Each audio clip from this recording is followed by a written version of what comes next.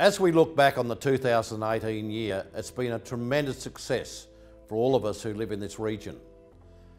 Our gross regional product has gone through the $10 billion mark and beyond. Our growth has been 4.5%, building on 3.6 over 10 years.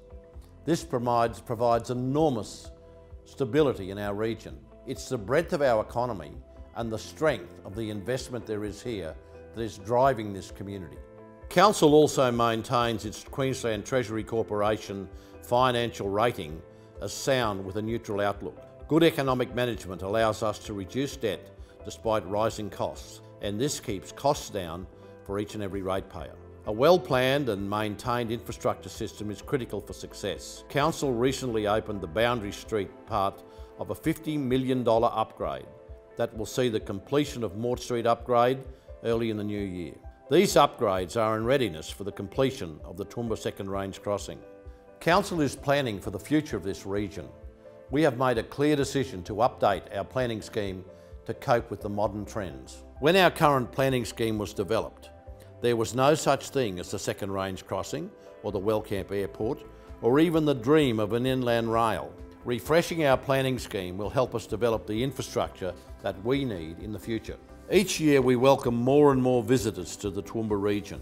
Part of the attraction to our region is the world-class gardens that make us Australia's garden city. This year the Australian Tourism Awards again recognised the Carnival of Flowers as the best national major festival. We are proud of our reputation as a region that cultivates the best parks and open space that can be found anywhere, and we will continue to build on this. This year our region was successful in becoming an internationally accredited safe city.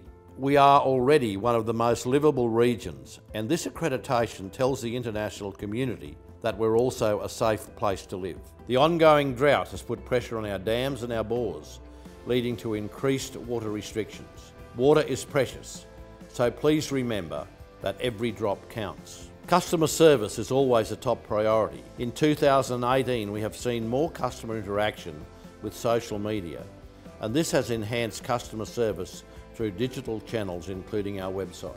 2019 to me is a year of tremendous promise. There'll still be more major infrastructure projects. We will still continue to value that wonderful livability that we have here. And we look forward to 2019 rolling out as we achieve our goals. Can I take this opportunity on behalf of my colleagues in wishing you all the very best in the prosperous year that lies ahead of us.